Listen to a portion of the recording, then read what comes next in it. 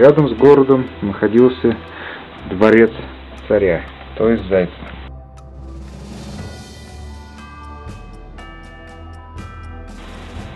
Это было достаточно красивое сооружение, начинался вход с колонн. Здесь стояли статуи. Такой вот греческий гоплит. Давайте посмотрим. Конечно, не ахти какой, но в то время лучше, видно, не умели делать.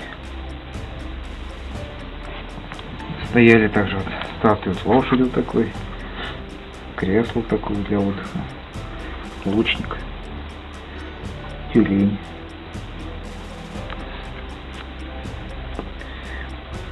Также здесь располагались денежные средства. Это, возможно, трофейные германские деньги.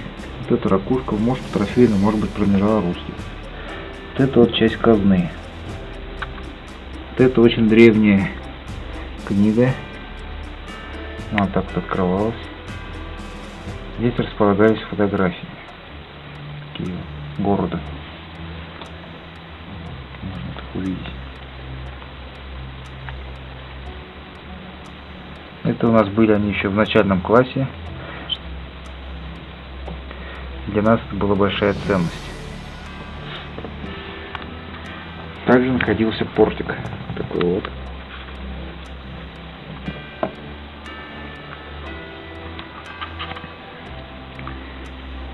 Когда крыша снималась, можно было видеть внутреннее содержимое. Его делали на селезневке, и как бы русские купили его у греков. Здесь находилась еще часть казны. Вот эти вот пуговицы были очень ценными. Они, в принципе, достаточно красивые. Можно видеть. Да, перламутр.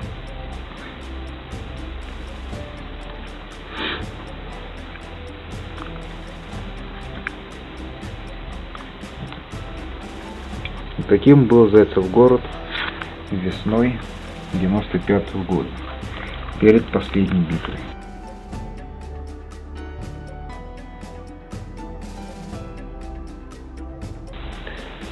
На Руси города боролись за первенство. Одержав ряд побед над своими конкурентами, Зайцев город выбился в лидеры, став столицей.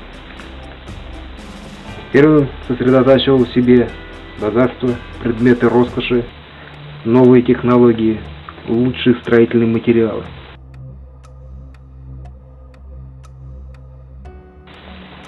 Его военная мощь постоянно росла. И на пике своего развития она достигла 330 воинов.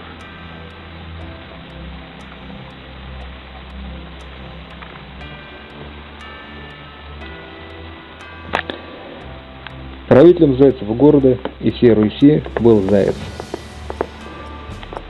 При себе он имел знамя, когда-то оно было белоснежным, на нем был изображен Георгий Победоносец синим цветом, но сейчас оно выцвело.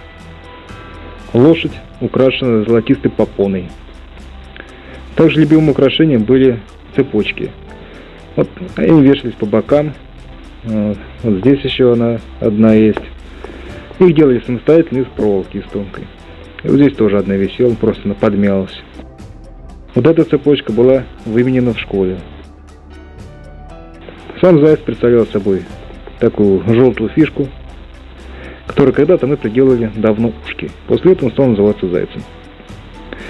При себе он также имеет жестяное оружие, железное оружие. Вот, оно было добыто в последней битве у греков. Но и до этого у него лошадь была вооружена самым передовым, самым лучшим оружием, очень крепким. И сама лошадь, она сделана из очень прочного пластилина, близкого к камню по прочности. На первый взгляд, Зайцев город кажется большим, а армия разношерстная. На самом деле достаточно легко понять, выделить определенные группы, типы воинов. Многих мы даже знали в лицо, по именам. Это одна из групп воинов, это вот мелочь. Она была присоединена к Зайцевому городу после того, как он одержал победу над всей Русью. И мы поняли, что впредь такого вряд ли повторится. Ему просто не хватало людей. Это были воины вот такого типа первоначально. Это была совсем другая игровая система. Она заменяла компьютер.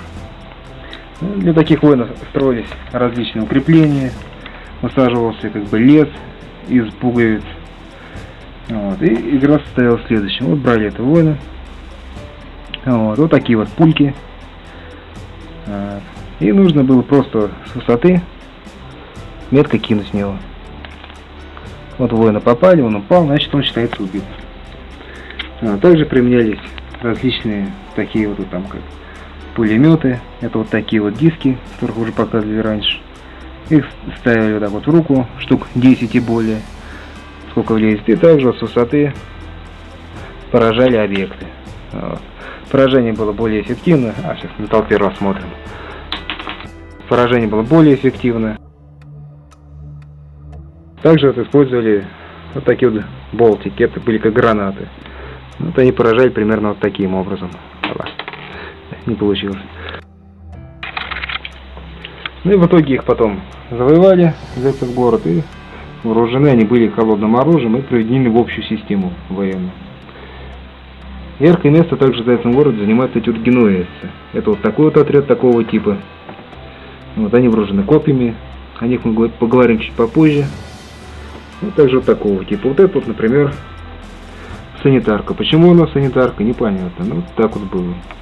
Наверное, по той же причине, почему заяц, заяц который, в принципе, был вот таким же вот тут, был зайцем. Вот этого называли мышь. Вот этот зеленый был у них командир. Но, по всей видимости, потому что он зеленый. Ярко-зеленый. Единственный такой представитель. Также вот были вот такие вот воины. Они пластмассовые, это воины, по видимости, из набора ледовое побоище.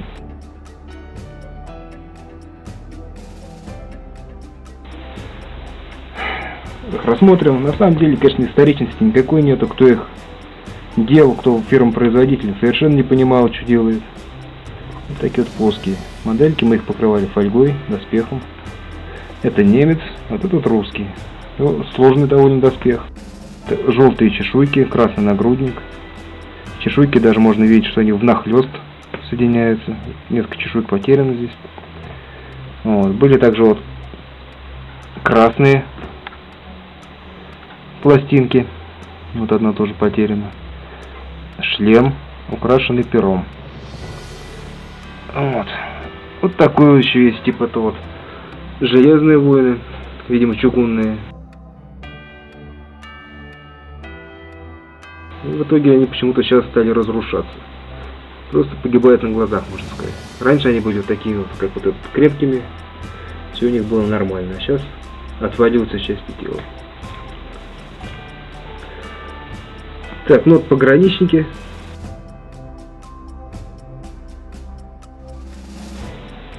Первоначально они вооружались пластилиновыми штыками, потом стали вот такими вот проволокой вооружаться. Вот. У многих она и осталась. Ну и конечный результат это вот такие вот тут копья. И вплоть до железного оружия, как вы там видно. Вот так вот еще был воин. Его мы нашли на улице. Он стал членом нашего общества. Также были вот такие вот тут бойцы, наподобие как вот у профессиональной армии есть красные воины. Тот, тот же набор, но они были найдены на улице. У них не было подставок. Мы им сделали сами. Так. Вот еще есть. Тут еще 4 человека. Это такой вот набор немецких солдат. Очень исторически хорошо сделанных. Очень красивых. Но их тоже вооружили и загнали в армию. А вот уже пошла пластилиновая армия, которую уже сделали сами на основе всяких мультфильмов. Вот этот, например, индеец. Наверняка просто посмотрели какой-то фильм про индейцев. И вот сделали таких индейцев. Их было 22. В итоге сохранилось 7. 7 целых, и вот один вот такой вот раздавленный тапком. Но, по всей видимости, оставшиеся куда-то потерялись, были выброшены. Так, смотрим далее. Здесь вот еще индейцы. Вот этот вот индеец. Вот эта индианка, их было две. Это ребенок и взрослые. Взрослые, видимо, находятся в общерусском войске. Вот. Они были сделаны на основе фильма, где там индейцы и во время английского нашествия. Вот. так вот здесь вот представлены Чаполина, Вот из мультфильма Чиполлино. Вот они, их тут было сделано несколько штук. Вот зеленый, вот вооружен копьем, на подставке. Также были вот еще белый, наподобие Чиполлино, какой-то такой же объект.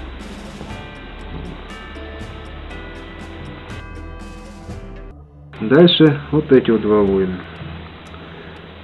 Вот, это, два человечка. Так как мы считали, что все живые, для нас была сама мысль о том, что кто-то сломает где-то кого-то ужасный. И поэтому мы их выменили в школе у своего приятеля. На уроке лекции он их сделал этих человечков, мы у него их выменили. И в принципе часто в школе, кто знал, что мы все это собираем, не ломали, а отдавали своих солдатиков всяких там, зверюшек. Так, вот здесь еще один человечек. Это вот из мультфильма. Там про зверей, про таинственный лес какой-то. Вот там был художник, вот мы его слепили. Конечно, под доспехами уже трудно понять, что есть что. Ну, был такой. Ну, вот, также вот значки. Мы тоже переделали у воинов. Вот этот вот значок лошадки. Его нашли еще в садике, когда нам было очень-очень мало лет. Из него даже был конфликт, нас хотели его отобрать, но мы его все равно притащили домой. И маму нам сделал вот эти вот точечки лаком. Такая вот историческая лошадка. Вот здесь вот тоже три объекта. Это вот такие вот тут. Это, видимо, мужчина и две женщины. Желтые волосы. Желтые волосы были когда-то. Красная юбка. И еще вот одна си во всем синем. Красный там, центр, да и юбка. Сейчас они вооружены уже греческим оружием. Вот, вот щиты, мечи. Раньше, разумеется, оружие у них было просто спички. Вот здесь птицы. Вот одна, например, это курица, которая э, э, город Скруджа, там у него их целая куча, но они там считаются мирными жителями, считались. И их не вооружали, а здесь ее вооружили. То есть он стал полноправным членом общества. Вот эта птица у нее первоначально здесь корона была на голове, потом все это стерлось. Видимо, тоже из мультфильма, тоже птица. Вот.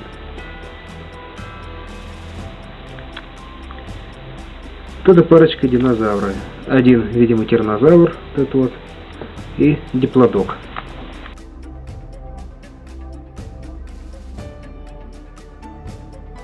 Здесь крокодил. Крокодил он был сделан из кинофильма о Тарзане. Тарзан и Джейн, они сейчас, видимо, находятся в общерусском войске. Крокодил остался здесь.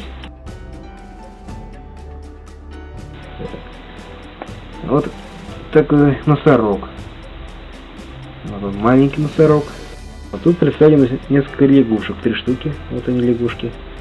Вот одна двуногая. Основная масса таких лягушек, конечно, на селезне находится. Но здесь это особенность, что она вот такой в синей.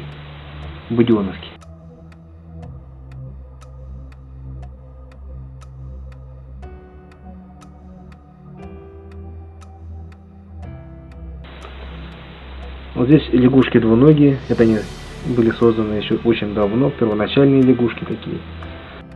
Вот у них там был целый бассейн в воде, перемешку с глиной. Был такой болото сделан для них. Вот здесь представлена еще лягушка, она на лошади. И вместе с мышом.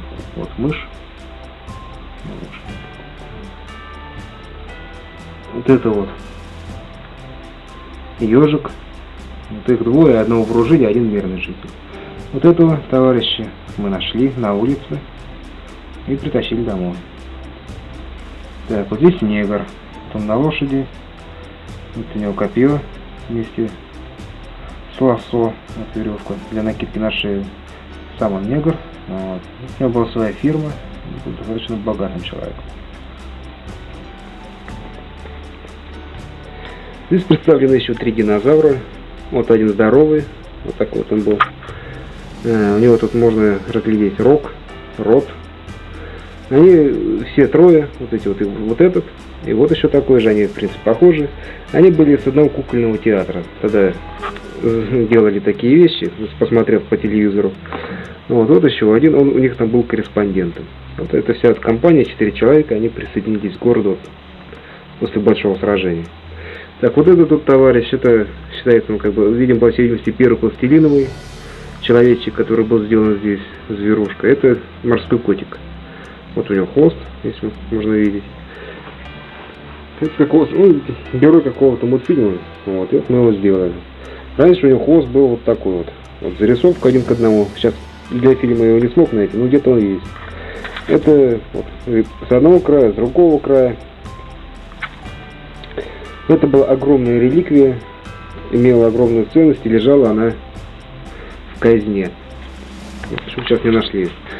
Вот. В то же время был сделан еще вот этот стол. Вот такой вот стол. И вот такие вот стулья. Они с глазами, если можно заметить это. И то есть они все считались живыми. Стол, стулья все эти. Ну, так как стулья нельзя было вооружить, а стол можно, ну, стол вооружили. И он вступил в ряды армии.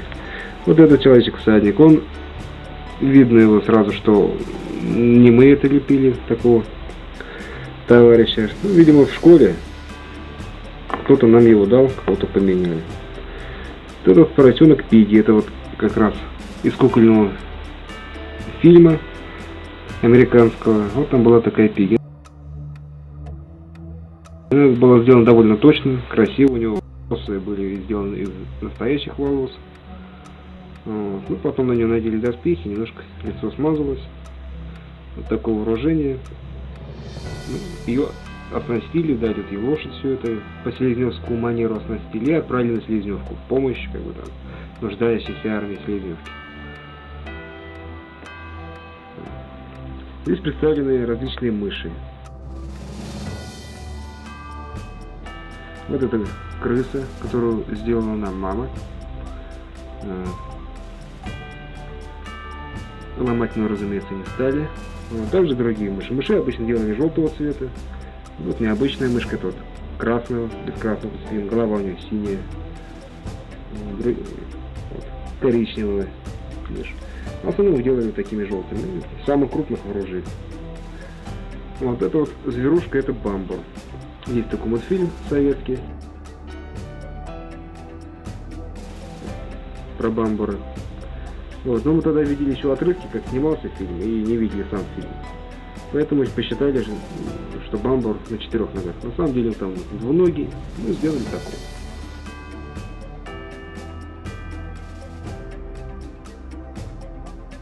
Это барсук. По всей видимости, это какой-то фильм про животных. Так, были также такие еще звери. Вот это, например, медведи. Они тут сделаны маленькими, такими, три штуки. Обычно медведи были куда крупнее. Вот это вот три коровы.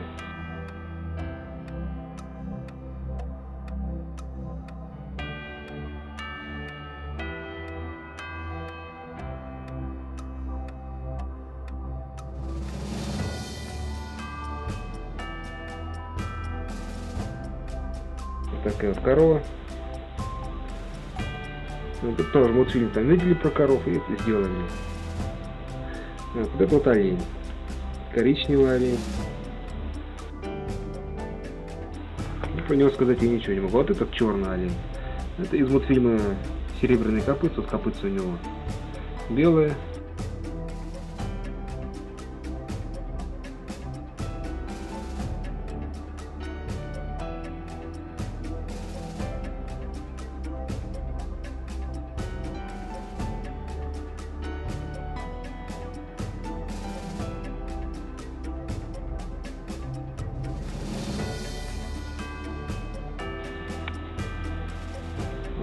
Видимости, очень древний, потому что в садике э, ставили различные пьесы про этих серебряных оленей, в которых я участвовал лично. Поэтому, видимо, его и сделали. Фильмы олени.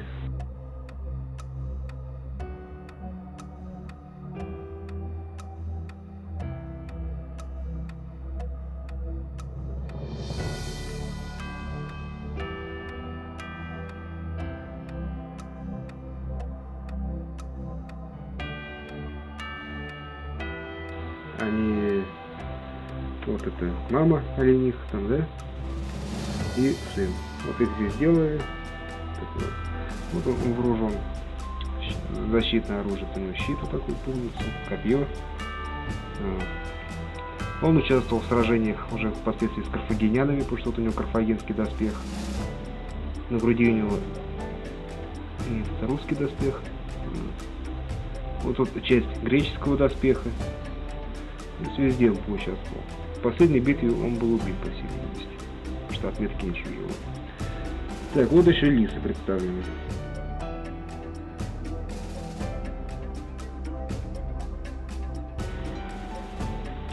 Вот тоже очень древняя леса, не знаю откуда и с чего ее лепили. Но вооружена она костяным таким копьем. Очень остро до сих пор сохранила остроту. Хотя прошла много сражений. Вот у него шапка, сделанная раньше здесь перо было. Это типичное украшение, оно было предметом купли-продажи, считалось ну, достоянием. Вот можно посмотреть волка, вот у него перо сохранилось. Шапка более-менее в таком сносном, сносном состоянии. Это был... Защита она особо, конечно, не несла, это просто был предмет украшения, что.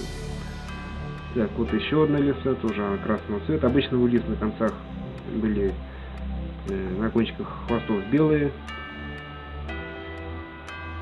Вот. Ноги у него имеют белые отметинки, такие это бинты. То есть когда-то у него, видимо, ножки сломались и забинтовали. Вот. Чистая игра. Вот еще одна лиса в желтом русском доспехе. Ничего такого примечательного в нет. Вот есть зеленая лиса ну, с желтой головой. Откуда она, тоже непонятно. Ну, видимо, в каком-нибудь мультфильме. Она вся в алмазах, вот они, эти алмазы, прокрасившиеся. Вот эти тоже лисы, вот это лис. Вот. Черный лис. Из кинофильма про черного лиса.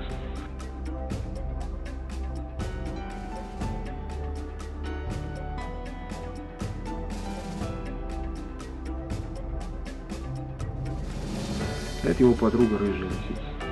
В легком доспехе. Так, также было огромное количество различных волков. Их, их сделали на селезевке и завезли сюда. Их было 40 штук. Ну, большинство осело их, конечно, здесь, в Зайцевом городе. Были также,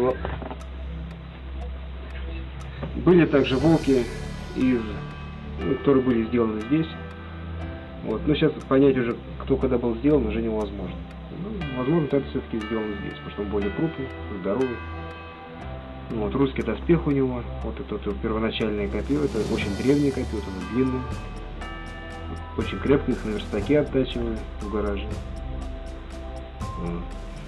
Также вот еще ряд крупных волков есть. Вот этот, например. Тоже греческое оружие трофейное у него сейчас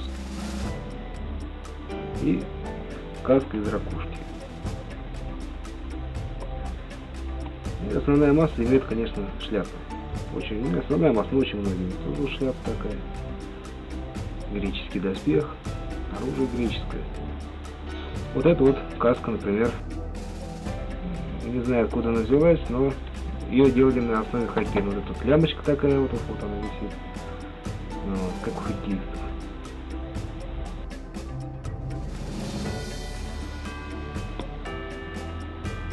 И вот тут большое количество, большое разнообразие этих волков. Тут посмотреть можно. Вот у него тоже древнее оружие такое, старое оружие. Вот копье такое длинное, прочное. На голове у него мидия. Это уже чисто защитный доспех, это уже не декор такой. Эта вот зеленая отметка означает, что он выжил в последней битве. В битве народов. Вот. А вот эта отметка означает, что воин проявил себя героически в этой битве, убил ну, много противников, но он погиб в бою, потому что зеленой отметки у него нет. А вот у этого и белая отметка, и зеленая, то есть он и врагов поубивал и сам выжил. Вот такой вот лук. Везунчик. Так. Вот еще рассмотрим других обитателей этого мира. Вот хоккеист, Вот этот вот ковбой. Его Чупрын нам дал взамен нашего солдатика, которого он потерял. Вот так вот с обмен. Вот эти вот, их называли роботами. Эти вот товарищи. Все они были найдены на улице. Вот. Но когда нам самим купили такой же конструктор, мы из них стали делать уже вот таких вот лошадей. Их уже не одушевляли, не выделяли как личностей. Это уже была масса. А здесь они все одушевленные и представляют собой вот таких вот обитателей. Также роботов делали вот таких вот, сами тоже из конструктора. Ну, видим, какой-то мультфильм посмотрели и делали. Вот также вот еще вот один волк. Ну, это особо крупные звери сейчас рассмотрим. Ну,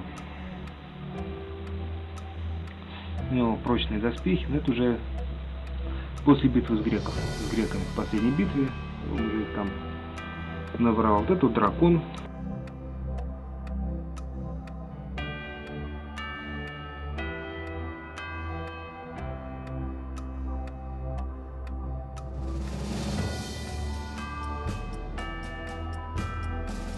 Вот у него длинный, длинное копье. У него было три, три головы, но сохранилось две. Вот это улепили в школе. Там какое-то задание, видим, было, улепили. Вот еще один дракон. Это, наверное, какой-нибудь мультфильм посмотрели. Тоже крупная махина такая, с маленькой головой. Видимо, мультфильм. На нем сидит немецкий воин. Сделано на селезневке, но почему-то сюда он был определен. Вот еще одна лисица. Рыжая лисица. Оружие сейчас у нее все повылетало, ничего не осталось. Ну, здесь видно, что было. Стержневое копье. И защитного вооружения у нее тоже особо не прибавилось после битвы. То есть русский доспех, примитивная защита. Вот, вот эта вот лисица, она имеет очень хорошее защитное вооружение, наступательное вооружение.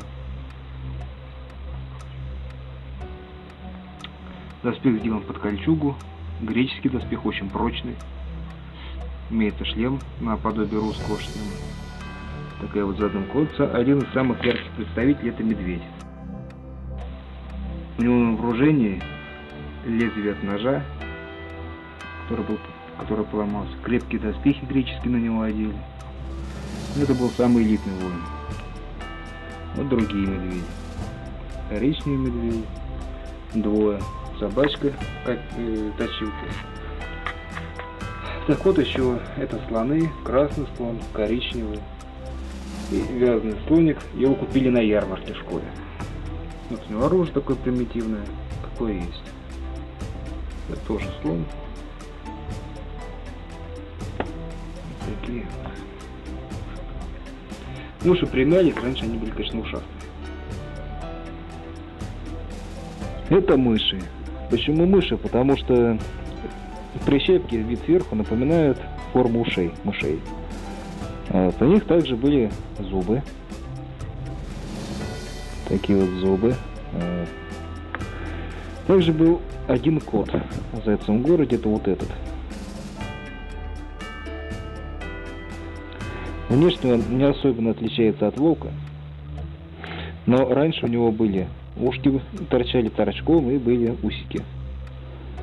Поэтому внешний вид у него был немножко получше и отличался.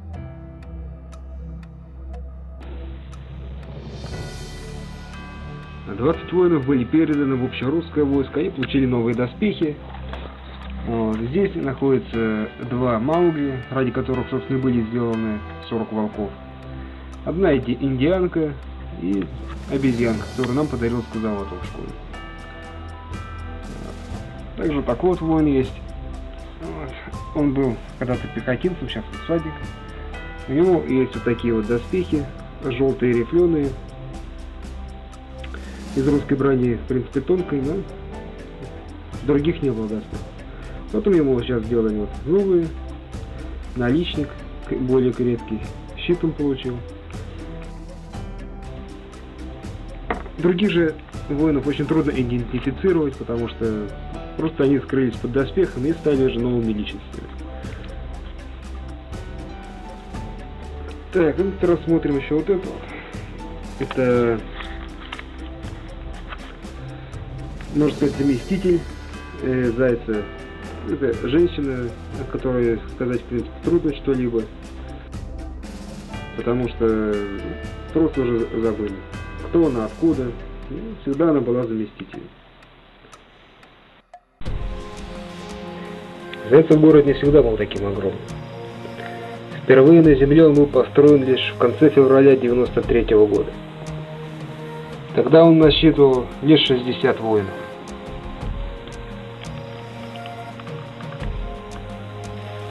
К 20 февраля для отражения нападения Зотова мы перевезли германцев, тевтонцев и рыцарей в Русь и расселили между ее городами. Таким образом, численность Зайцева города достигла 147. В этом месте на двух стульях находилась крепость. В ней была профессиональная пехота, а также там был построен из кубиков крепостная стена. Под ней находилась профессиональная конница и большинство иностранных войск. Здесь был выстроен Новгород. Тогда его численность достигала 71 воина, ну и незначительная часть германцев и тевтонцев располагались здесь же. 25 марта стало совершенно очевидно, что войны с Зотом не будет, и иностранные войска покинули Русь. 1 апреля была уничтож... убрана крепость, разобрана, кубики достались Новгороду, а здесь был сделан парк динозавров. Эти два города являлись центрами формирования русского государства. Теперь нужно было выяснить, кто из них сильнее. Впервые на Руси началась гражданская война. Одной из отличительных черт этого сражения было то, что я командовал одним городом, одной стороной, а Юрка другой. Новгородцы покинули город и построились недалеко от входа в этот город. Так как сил у них явно не хватало для его штурма, несмотря на то, что численность одинаковая, они были более слабы, Юрка решил уравнять шансы соорудив такую вот катапульту. Катапульта состояла из кубика с железной пластины и снарядов. Их число было разное, от одного до трех и более. Выстрел происходил по принципу рычага. Это было следующим образом. Поражение происходило в том случае, если Кого-то эти летящие пластины сбивали с ног. Зайцев город был покрыт ковром из пластин. Погибло порядка 30% его воинов. Сейчас для реконструкции мы использовали 15 пластинок. В то же время их число приближалось к сотне. После обстрела, убрав пластины за занавески, защитники города, те, кто уцелел, сделали вылазку. Тогда еще воевать на улицах не умели, поэтому предпочли выйти в поле. И они построились где-то в этом месте.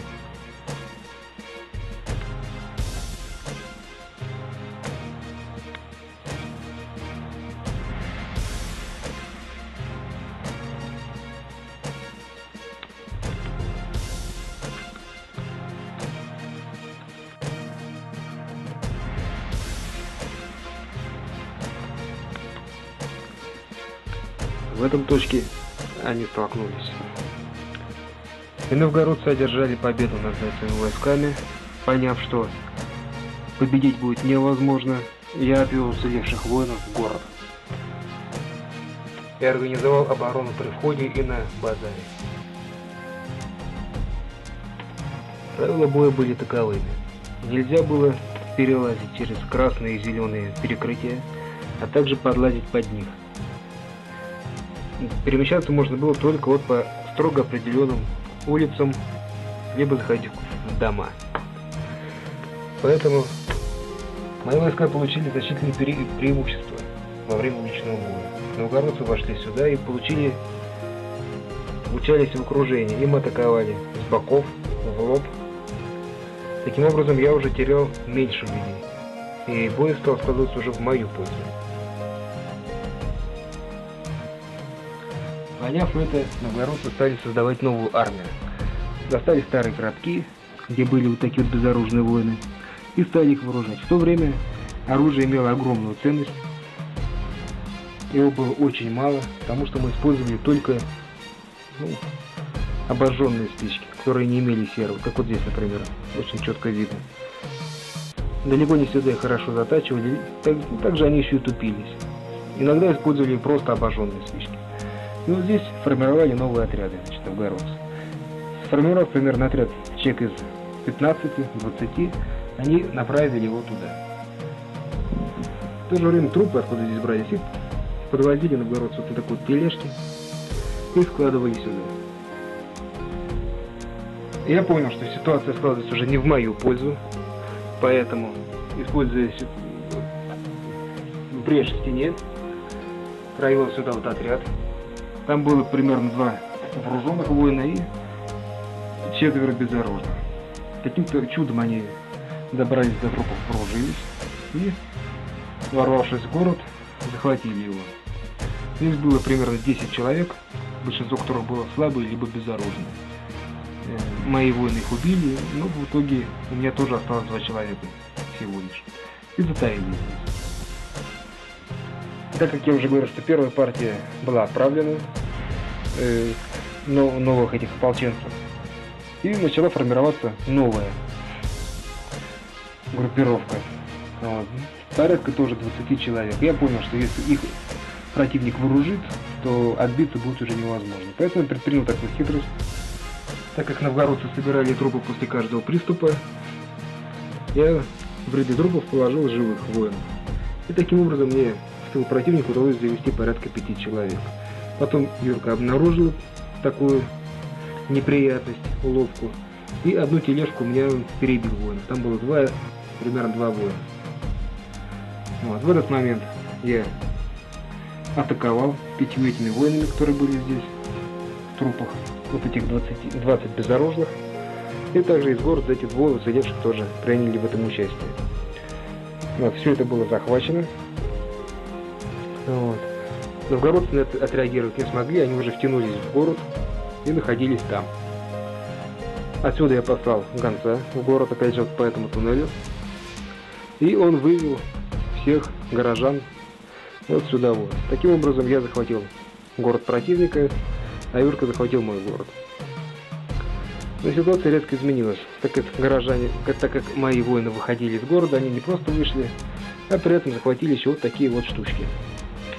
То есть те диски, которыми их и обстрелял противник. И в моих руках была катапульта, а Юркины войска зашли в мой город. Чем я и воспользовался. По сути дела, то, что практически уничтожил, нанесло существенный урон, практически поставив на грани уничтожения моих воинов, теперь обрушилось на голову неприятеля. Обстреляв город, мы его снова похоронили под завалами дисков, противник был практически полностью уничтожен, уцелевших врагов мы добили в рукопашном бою.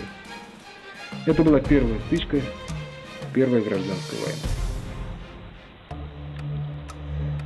7 марта 1994 года Зетов город был обнесен стенами. Его площадь значительно расширилась. Число воинов было доведено до 193. Улицы стали толще. Базар у входа стал намного больше предыдущего. Теперь они никого не боялись. Основу союзного войска представлял Новгород. Здесь было 91 воин. И это надо учесть, что у этих воинов лошадей не было, за исключением трех. К тому же доспехи были значительно хуже, железного оружия не было. Железного оружия, в принципе, ни у кого не было. Также были Воины лаборантные, города лаборантные, их было 23. Луч привел 20 воинов. Надо учесть, что вот этих лошадей не было. Профессиональная армия привела 75 человек. Таким образом, общая численность составила около 209 воинов. Мы решили провести сражение. По сути дела, мы хотели узнать, выдержит город осаду или нет. Для этого была собрана коалиция из четырех русских городов. Они осадили город. Армия была разделена на четыре отряда. Первые были новгородцы, это была группа прорыва, здесь были сосредоточены звери, в основном пластилиновые, приспособленные для битвы на тонких улицах городских. Вторая группа прорыва составляла из э, Скруджева города и лаборантной. Для прикрытия первых двух групп, на случай того, что если противник сделает вылазку из черного хода, стояла профессиональная армия которую дополняли 10 железных новгородцев. Также мы собрали резерв. Здесь были пластмассовые воины, которые были в принципе не способны сражаться на узких улицах, поэтому их отвели в резерв на всякий случай. Здесь же были также царь Новгорода, царицы и Скотч. Новгородцы пошли в атаку. Они были встречены камнями.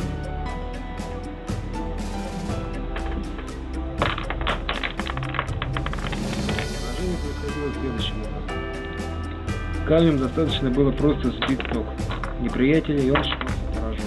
А так как народцы вперед крестили самых слабых, они были в двуногие, поразить их было достаточно просто. Атака была остановлена. Новгородцы потеряли порядка 20-14 человек.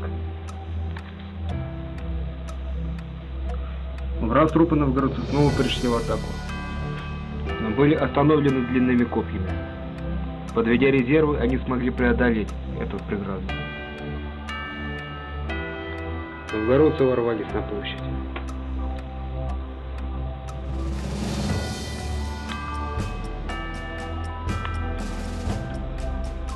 На базаре коллекционные войска встретили колпачки и жители первой квартиры.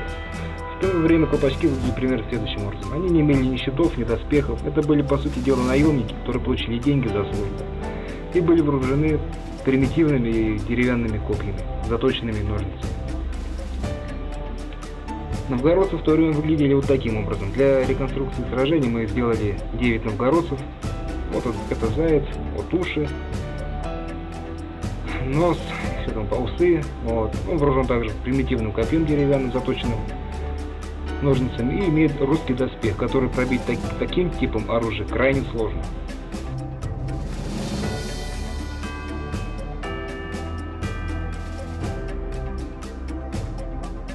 Пройдем реконструкцию сразу.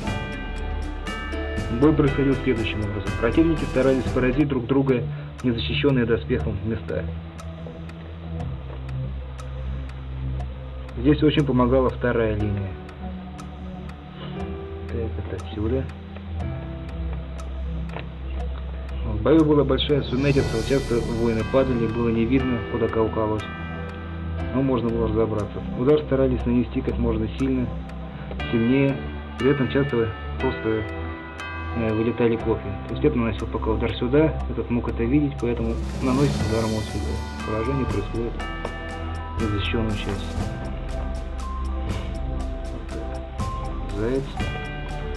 Вот был удар по, по доспехам, он соскочил. И первая линия генуэзцев оказалась бессмысленной. В этот момент вступила в бой вторая линия. То есть пока вот этот воин сдерживает противника натиском, этот свободен и может нанести удар ему в любое место, особенно не защищенную часть. То есть тот удар идет в голову, противник поражен. Тут происходило то же самое. Поразить сразу было крайне сложно друг друга. В то же время вторая линия четко наносила свои удары. Вот удар сошел, в принципе, не получился. Вот здесь могло быть и вот такое, ногу. И пока противник был парализован таким ударом, удар наносился ему уже в корпус. То есть удар в ногу даже не считался ранением, пока нога не оторвется. Удар в корпус или в голову считался смертельным. Вот удар обычно деревянным копьем. Вот удар прошел, доспех русский пробит, при этом Воин потерял свое копье. Произошло поражение. Новгородцы продолжали напирать, наступать. Бой становился ожесточенным.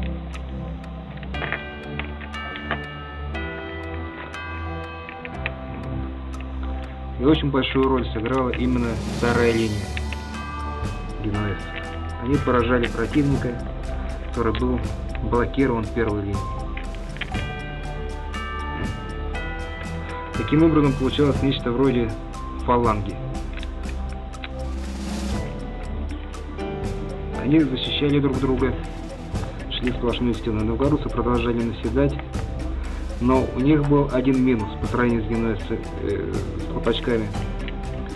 Они не могли друг другу помочь. То есть этот воин бьется исключительно сам за себя. Максимум, что ему может помочь его друг, соратник, это нанести удар противнику, стоящему рядом. Но вторая линия, вторая линия помочь не может.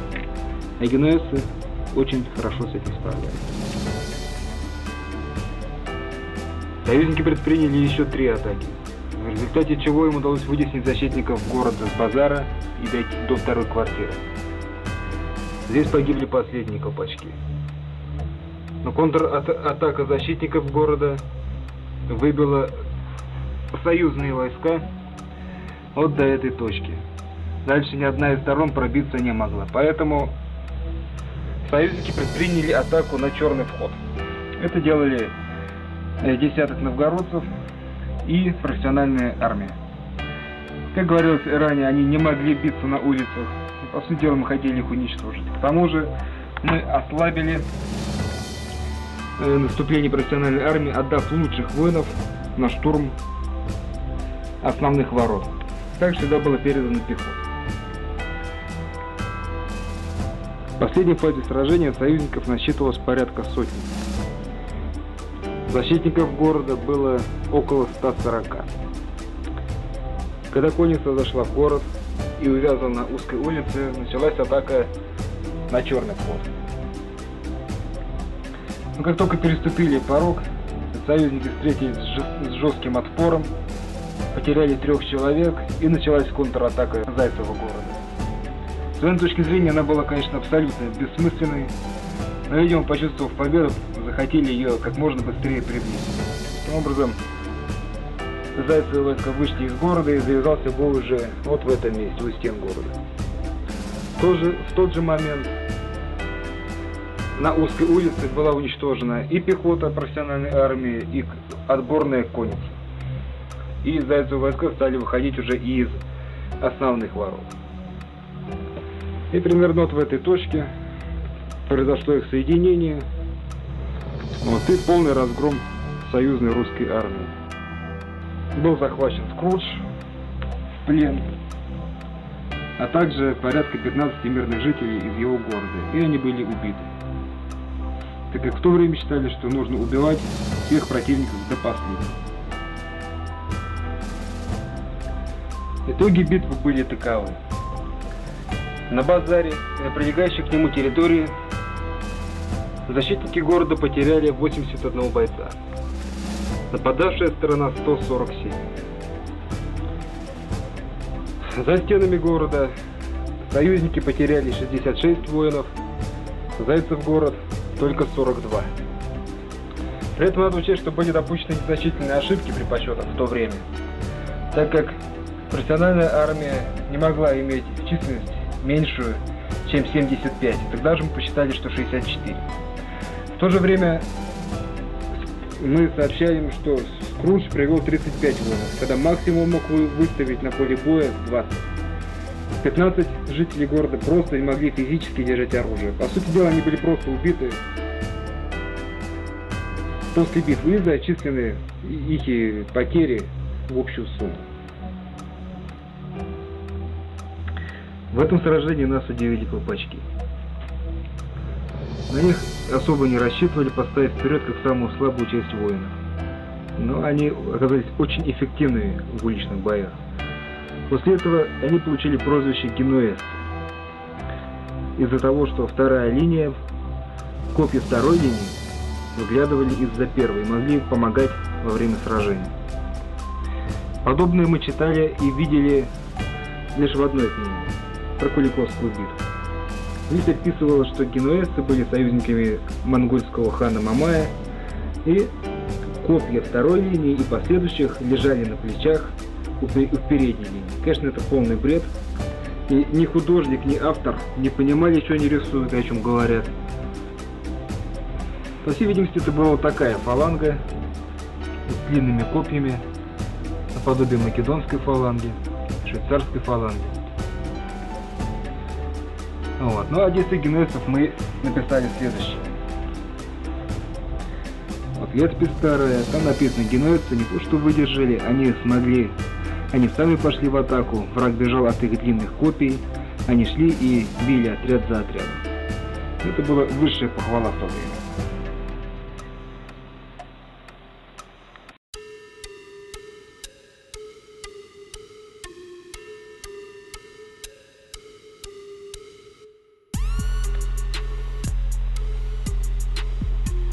Союзники пошли на приступ.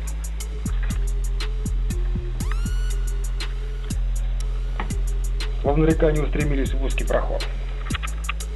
Никаких сведений о том, что применялись камни нет, но по всей видимости их использовали. Когда Селезневская конница прорвалась вот в это место и была атакована с всех сторон, подходящие подкрепления были забросаны камнями, что вынудило селезневцев отступить. Это дало время построить вот в этом месте генуэзцев. При первом атаке они не использовались, применялись самые слабые воины, для того, чтобы они просто погибли на этих улицах. Вот. Второй приступ уже отбивали генуэзцы, но, видимо, эффективности, как в предыдущих сражениях, они не показали.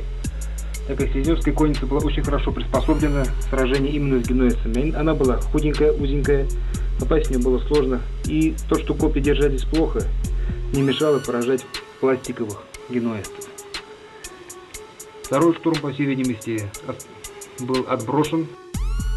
Селезневцев выгнали опять из города. Зачем последовал третий штурм? Третий штурм закончился захватом базара союзниками. От генуэзцев осталось 7 человек. Затем последовал четвертый штурм и союзники захватили вторую квартиру и вот эту вот часть города. Пятый штурм был захвачен вот эта часть города и вот этот дом. По сути дела, они дошли до перекрестка. Тот момент в этом, в этом месте было уже не столь многолюдно и оставалось порядка 40 человек. Это очень мало, и по, и по всей видимости это были самые крупные звери. После пятой атаки союзников Зайцев город оказался в крайне серьезной ситуации. Как уже говорилось, здесь осталось порядка 40 бойцов. В гостинице находилось 20 пограничников, 21. Также здесь был еще один воин, который выжил после первых штурмов и, воспользовавшись черным ходом, просто смог спастись и убежал к своим. В то же время союзники ввели сюда последние свои силы. В том числе и воинов, не способных биться на улице. Это были также еще и крупные воины-селезневцы. Они набились на площадь, лишив себя маневра. За стенами города осталась профессиональная армия и еще несколько бойцов. Спасти положение города могло только чудо. И, разумеется, мы его сотворили. Все было элементарно и просто. Взяли ворота и закрыли вход. Разумеется. Профессиональная армия никак не отреагировала на это. Ну как же, обычное дело, что зайдя в город и закрываешь свои ворота, а на стенах стоит целая куча погран... погранцов. Ситуацию мы воспользовались так. Крупные звери были, по сути дела, блокированы на площади. Очень плотно набились, они даже не могли элементарно развернуться, чтобы отразить удар в спину. И мы атаковали их с тыла, сидя войска со стены, наносили удары в незащищенные места. Практически уничтожив весь свет Селезневской армии. не понеся особых потерь. В то же время некоторые пограничники спустились по горе трупов, здесь была гора трупов, и собрали все вот такие вот штучки, камушки. Вот. Также удар по союзникам был нанесен вот из этого прохода, как я уже говорил. Вот здесь была секретная дверца. И открыли несколько человек, атаковали вот отсюда неприятели. И предпринята отчаянная лобовая атака. По сути дела, куча на кучу. В итоге атакованные с трех сторон,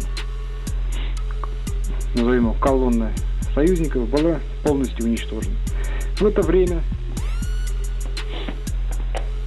профессиональная армия абсолютно ничего не предпринимала. Даже после уничтожения колонны положение горожан было незавидным. Их осталось 34. К стенам города подошла профессиональная армия в количестве 80 воинов. И тут горожане подняли ворота. Так что союзные войска увидели весь масштаб катастрофы. И не придумали ничего лучше, лучше видя, что на стенах находятся камни, чем бросить самых уязвимых воинов в атаку. Отряд вошел в город, где был практически полностью уничтожен.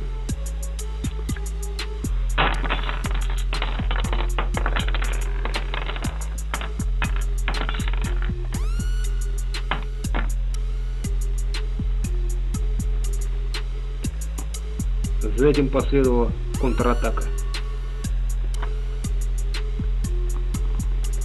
Со стен попрыгали пограничники и ударили профессиональную армию в незащищенный бок. Из черного входа вышли все, кто находился там, нанеся удар от в эту область. Когда профессиональные бойцы стали разворачиваться для отражения этого нападения, все, кто находился здесь, максимально быстро выскочили, добив оставшихся, и атаковали противника уже с этой стороны. По сути дела, профессиональная армия была сгружена в кучу и не могла обороняться на все эти направления.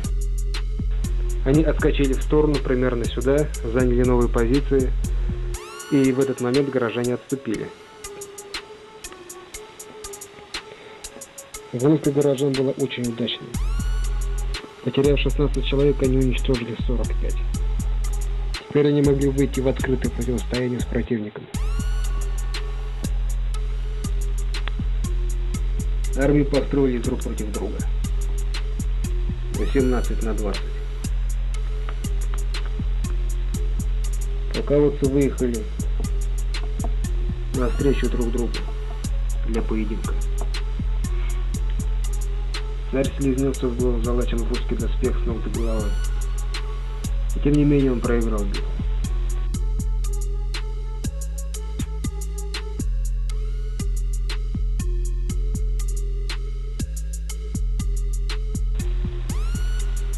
После этого последовала обычная лобовая атака стенка на стенку. Горожане одержали вверх. Их осталось семь человек.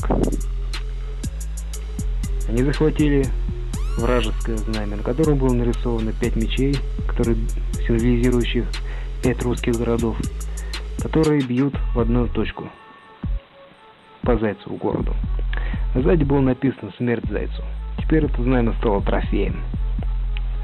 Наподлинно известно, что в живых остались вот этот воин, который спасся из черного хода, вот этот олень и сам заяц. Чтобы установить гегемонию над всей Русью, потребовалось убить все мирное население, какое только осталось. Начали с города Скротч, где были убиты все куры, цыплята, все, что двигалось. Потом перешли к лаборантам, где были убиты ужи, раки, рыба. Потом последовала целая сеть восстаний из различных коробков, которые доставались под кровати, в которые, в принципе, давным-давно не лазили. Доставали таких вот мел мелких зверей, которые зачастую были без оружия. Либо в лучшем случае вооружены были такими пластилиновыми копьями. В свою очередь Зайцев город перебрал все трупы, выбрал оттуда несколько живых воинов. А также из этих же коробков, с которых набиралось вот это мирное население для восстания, те, кто подходил под древних русских, они переходили на сторону зайцев. Таким образом был набран порядка 30 воинов. И во всех этих вот подавлениях восстаний, уничтожении мирного населения, сражений с ним, погибло 48 жителей города. В свою очередь они уничтожили 300 мирных жителей.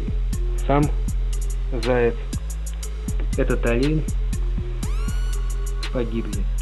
Вот этот вот зверек, который прошел практически весь бой, был убит последним русским, которого нужно было уничтожить. Таким образом, гегемония в Руси Зайцеву городу обошлась очень дорогой ценой. В живых осталось, осталось лишь пять воинов. Власть была захвачена.